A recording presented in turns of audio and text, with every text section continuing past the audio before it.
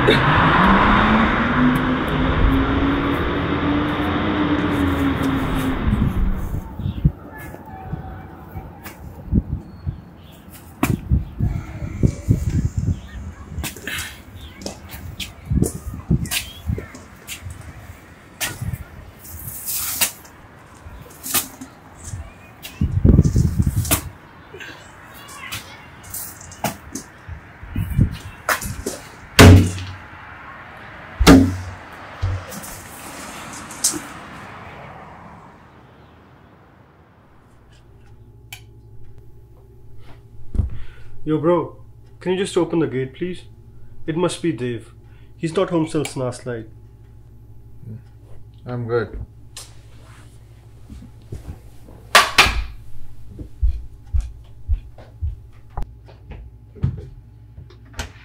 Oh shit! Akash! Can you come outside for the help, please? Dave! Dave! Wake up, bro, Dave! Dave! Oh no! Dave! Take him inside, bro. Take him.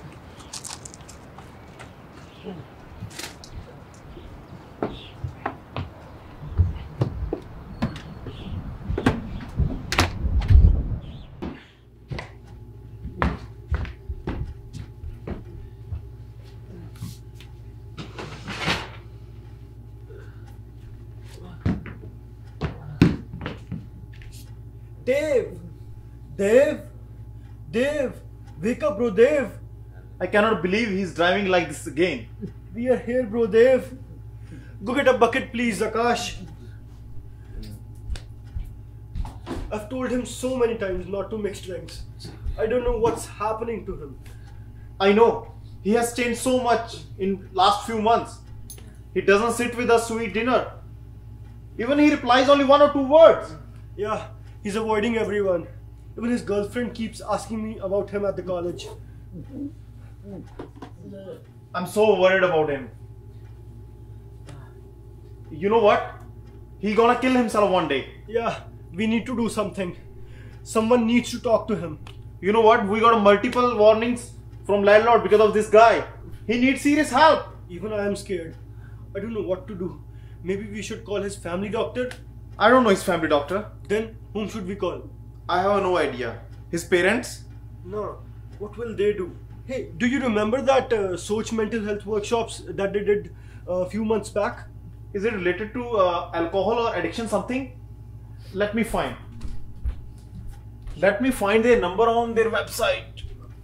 Dave. 905 459 459 double seven double seven. double seven double seven. मिल गया? Yep. Thank you for calling Distress Centers of Greater Toronto Helpline. This is Rimple. Just to let you know, this call is private and confidential. We're going to ask you a series of questions to better understand your situation. You do not have to disclose your real name. We'll try our best to provide you with the support you need. Can you tell me a little bit more about the reason for your call? Hello, my name's Mini, and I'm here from Soch Mental Health. We know talking about our mental health concerns can be so difficult since there is so much stigma attached with it. This is why sometimes we resort to finding our own solutions to our problems. But I do want to talk about some forms of unhealthy coping that can bring more harm than good. One such strategy is resorting to alcohol.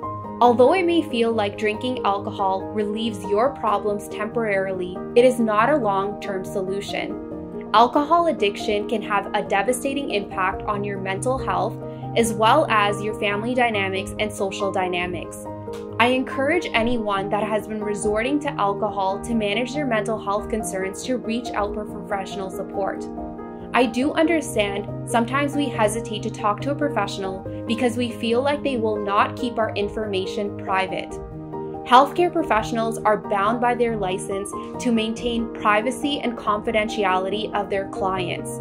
So, if you are someone that has been using alcohol to manage your mental health concerns, I encourage you to connect with your wellness clinic on campus, speak with your family doctor, or for more information, visit our website at sochmentalhealth.com. Remember, you don't need to struggle alone.